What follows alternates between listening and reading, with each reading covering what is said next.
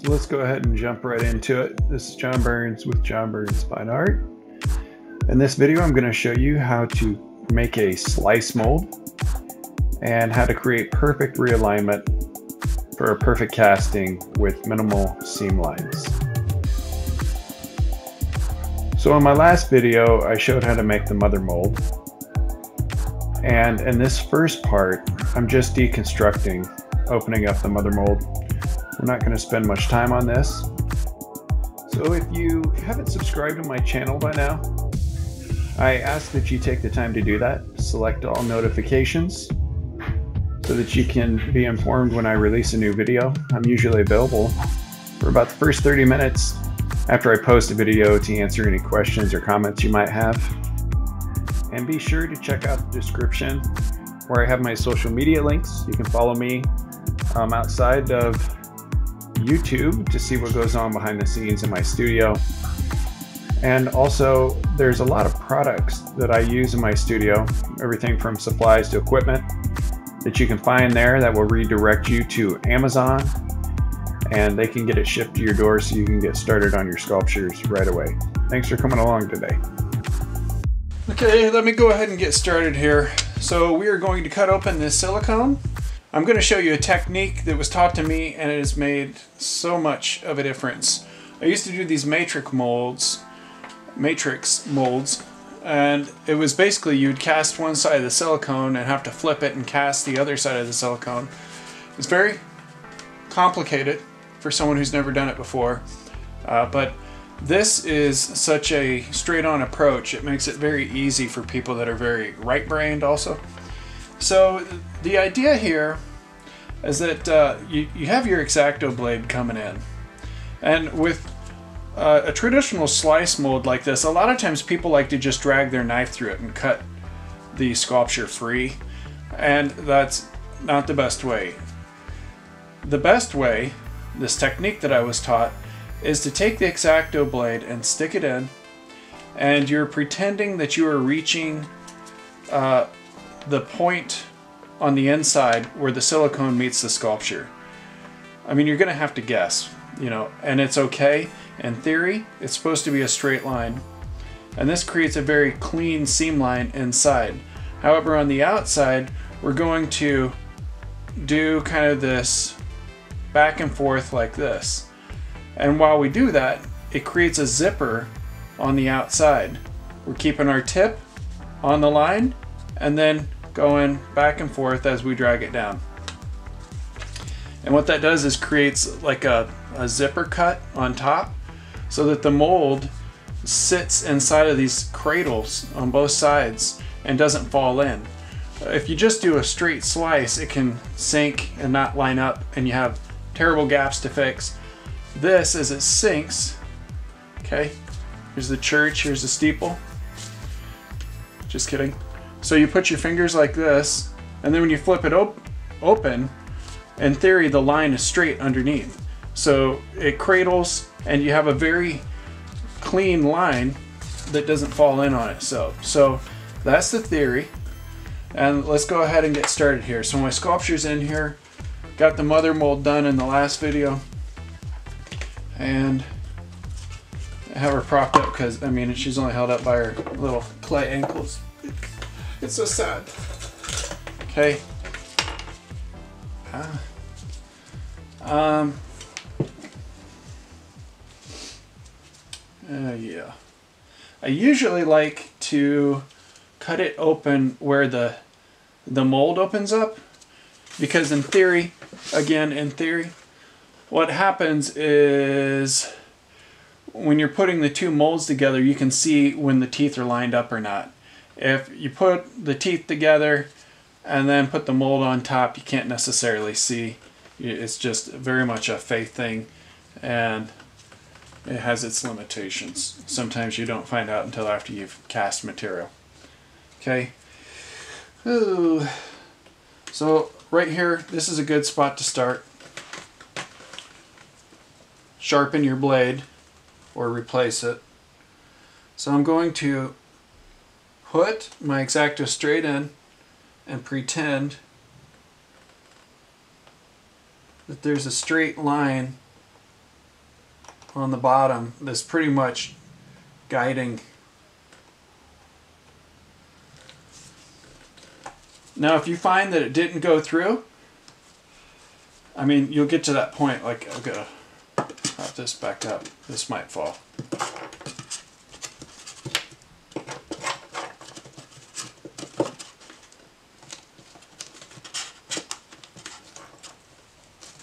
Put that right there, just, just, in case you want to reference that.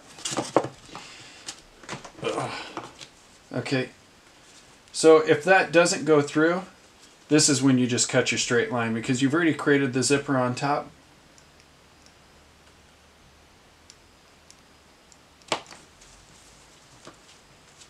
And you can see how this creates um, on both sides. And it's not perfectly straight, but it's very good. And it will hide your lines. And these go back together so perfectly.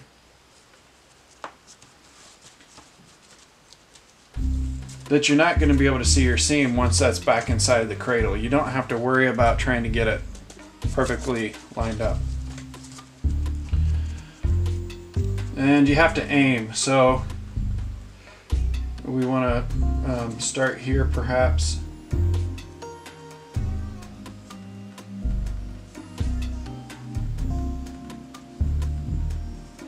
I'm going over the toes. oh no.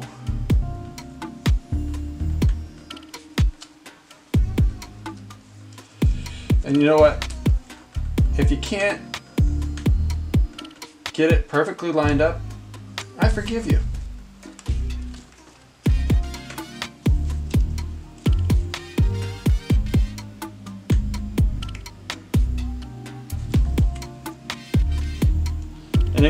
Make mini serrations here, a bunch of little cuts, that's cool. It actually creates registration marks.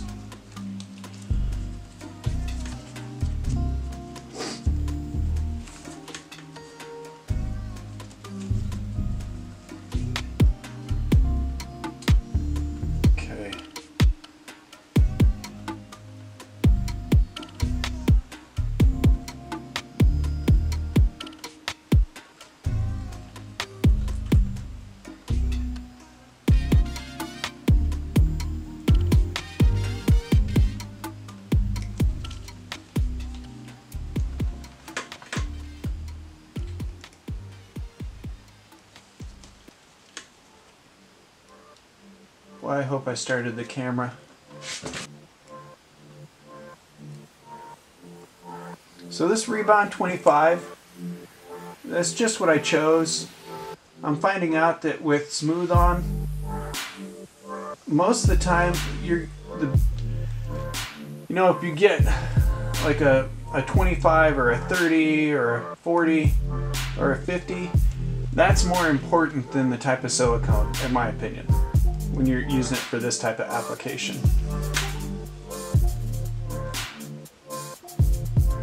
See, that looks more straight on the inside here. the outside is more curved.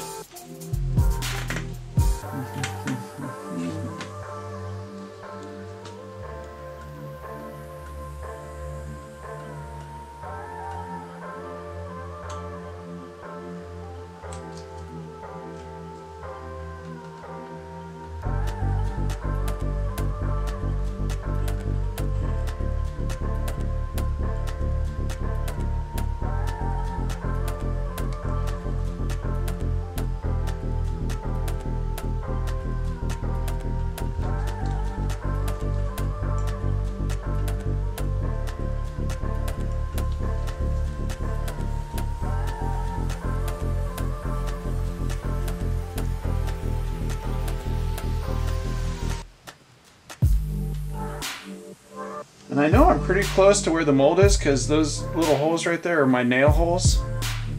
Obviously I missed the mark there. But up here I'm getting much closer.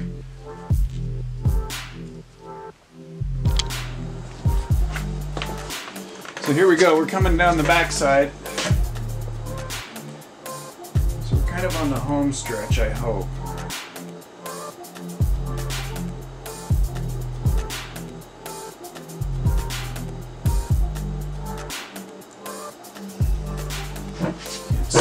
Going.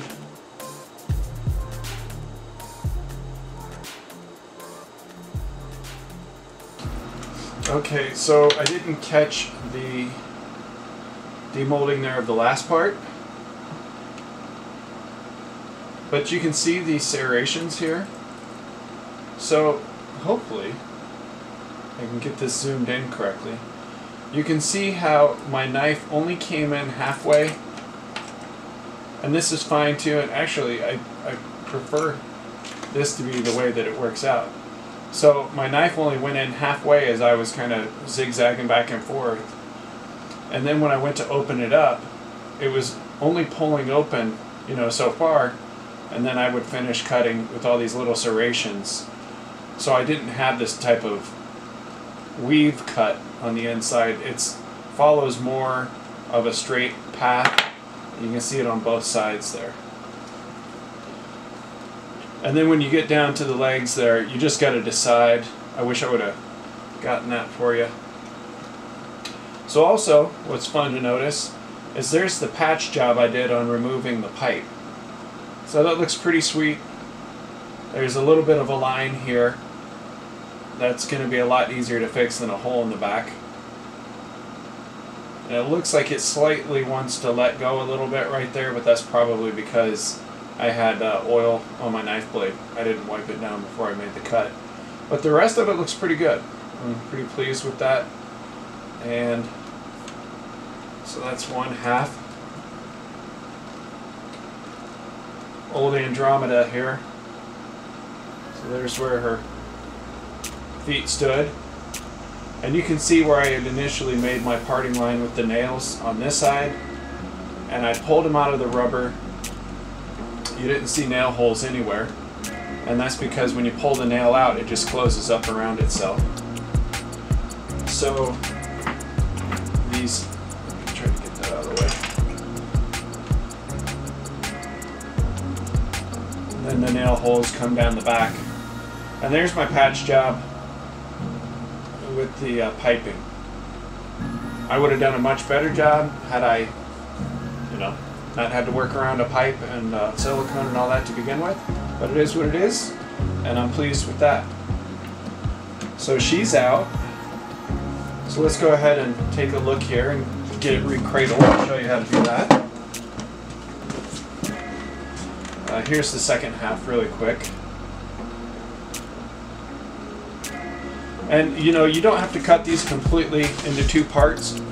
Uh, you can just cut one side and pull it off, but I find that it's easier to work with two parts. It does create a little more trouble trying to line it back up. But you can see there with that one arm, that would have been almost impossible to pull out there. So I went ahead and cut that open. Pretty good. Signature came out with no bubbles.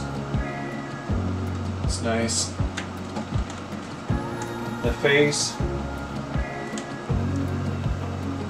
I'll be able to tell a little better once I have a casting. But from what I can see, the face looks really good.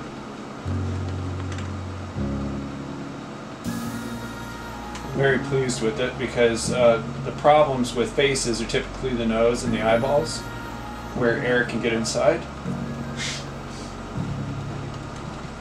Set these down here. This is a tip.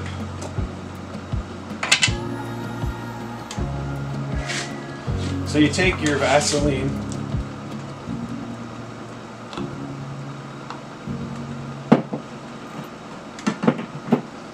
And what I noticed when I tried to fit this back in the mold, uh, there there are some problems. You're going to do a casting, hopefully not with resin or a more expensive material at first, inside of your um, piece. Maybe you're going to use wax or plaster, that would be ideal, to do just a proof of your mold. And what I found was one part of my mold, when I cradled the second half on top, it actually pushed the mold inside the, the rubber and unregistered it, which would have made a very flawed casting. So I'm going to put um, Vaseline on the two halves especially where the two um, rub as they come back together. And what that's going to do is help that slide over it and kind of pop and not create that resistance that forces something out of alignment.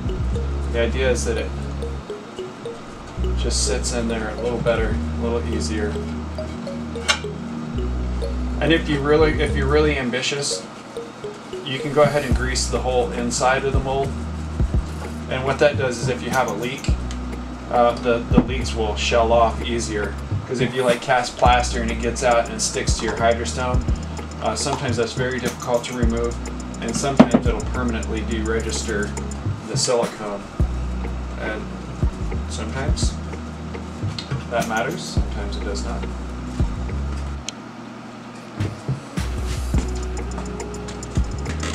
Okay, I've got my two halves all greased up.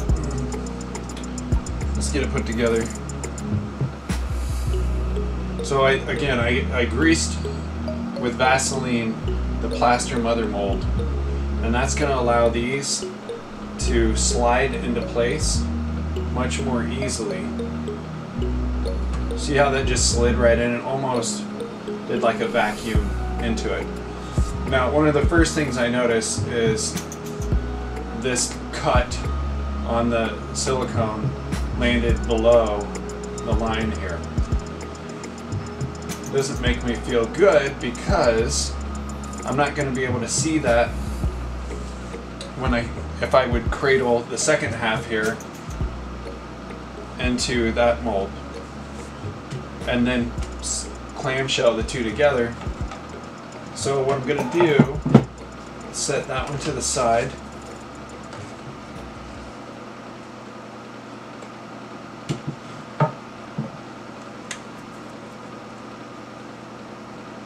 And put this one here. Now this one does it too to some degree, but because this side is more complex because of this opening here, that would be troublesome to try to line up the other way. So I'm going to shove it in here while I have the opportunity to look at it.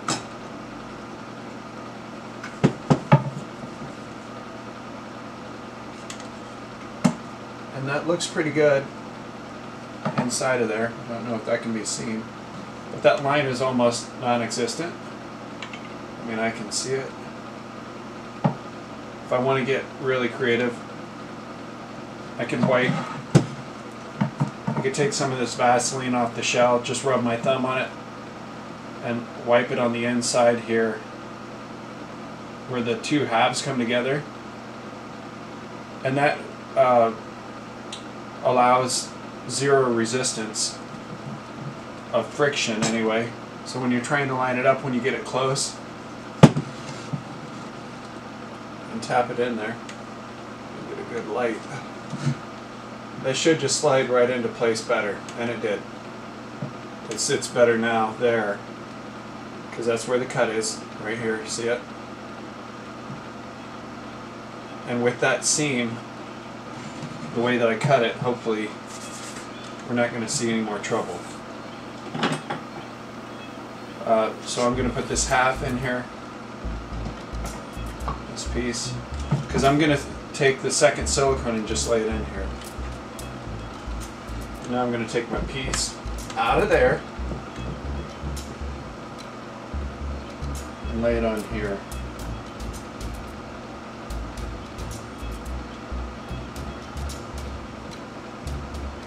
See, I can lift that up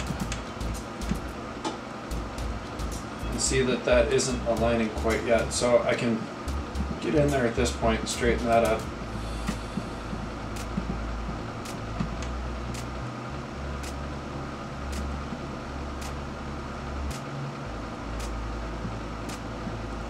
Again, if you want to, you know, you give it a little more Vaseline.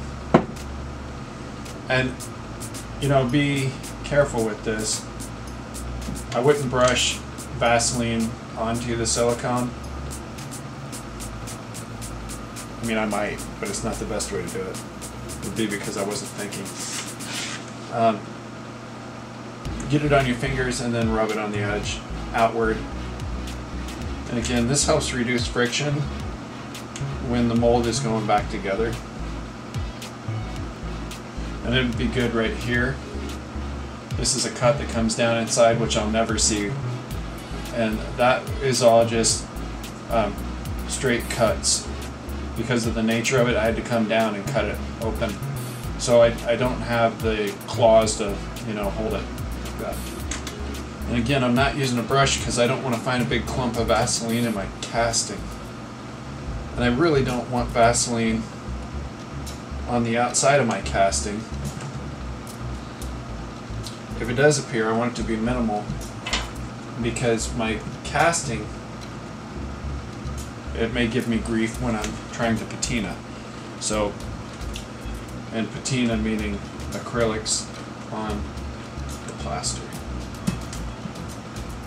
And here's another tip. If you see things like not sitting right when you touch it and there's still a gap, can you see the gap there? These gaps that don't close up when you're trying to even tap it, they should disappear completely some in some fashion, or at least seal. But when you see that gap, there is something in the way. So you could lift that up and find out that something else is out of alignment, or sometimes it's a crumb of plaster.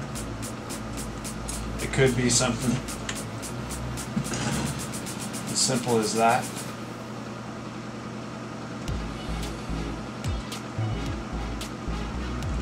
That may have been it because the gap closed. Here's something to watch out for. You see this little piece? That causes an, an opening. I've seen other people that do wax work. They'll just, well, I accidentally pushed that in because there's uh, Vaseline there. But I've seen them actually put the mold on top of that and just clamp it. That deforms the silicone and it deforms the casting.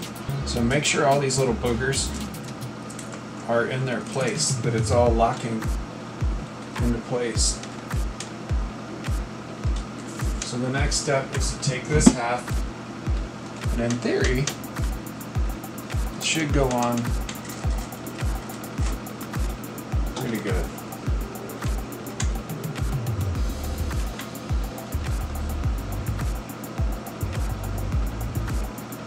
It's all greased up. Ta-da. So down inside, you can see where this seam line, see right there. But because I've touched the with the tip of my knife, that's going to go to, together a lot better. That'll make a much better casting. And then that line goes clear up the front of the leg. And as far in there as I can reach, I'm going to try to just smooth those two together.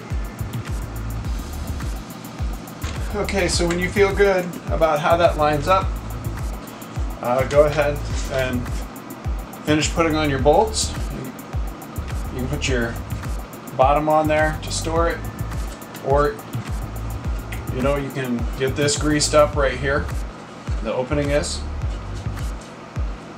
Pour your material in there, you know, when it's vertical or horizontal. It's better to pour your materials in at this angle so you get less air bubbles than dumping it. And then seal it on up. Get yourself a casting. How about that? So this pretty much wraps it up. We're going to get this bolted back together and um, the next video is going to be a casting. So not just a casting, but it'll be a casting here and assembling these two parts together. So we'll have Andromeda um, 1 and 2. I like to label my molds 1 of 2 and then 2 of 2 so I know how many pieces I'm looking for. So I'll get this bolted back together and I'll put it away until I'm ready to do that casting video. Please subscribe if you haven't subscribed yet. Please hit that like button. That really helps me out a lot. If you want to help me even further, you may make a contribution or donation at my PayPal account at Jon Burns Fine Art. Any amount that you feel comfortable with giving is perfect with me. Um, I love that you want to help. And I do give 10% back to charities uh, at the minimum. Sometimes we give a little more. And that goes to local charities, everything from families to children's hospitals to uh, arts in the local community.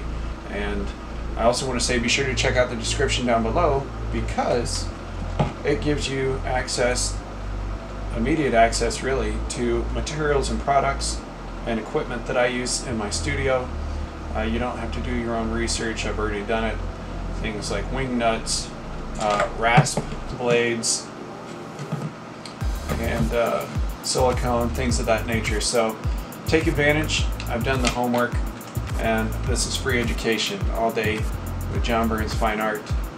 There's greatness inside you. Let's unlock it. Get out of your own way. Get out of your own way.